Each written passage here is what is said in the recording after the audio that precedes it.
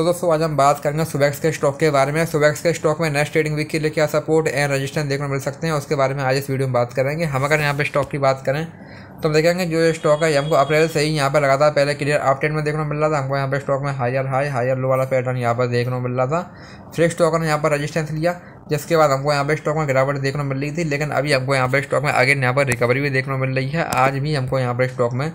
zero point four eight percent की यहाँ पर तेज़ी देखने को मिल रही है। तो यहाँ से अभी स्टॉक में बात करें,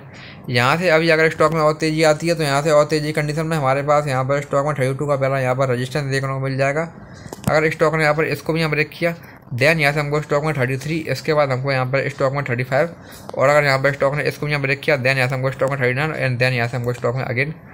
फोर्टी टू उसको फोर्टी फाइव फिफ्टी तक के लेवल्स भी यहाँ पर देखने को मिल सकते हैं ऐसा नेक्स्ट है पर रजिस्टेंस भाई, यहाँ से अब अगर स्टॉक में गिरावट आती है तो यहाँ से अभी गिरावट की कंडीशन में हमारे पास यहाँ पर स्टॉक में थर्टी पॉइंट फाइव फाइव का पहला यहाँ पर सपोर्ट देखने को मिलेगा। अगर स्टॉक यहाँ पर इसको ब्रेक करेगा देन यहाँ से हमको स्टॉक में ट्वेंटी नाइन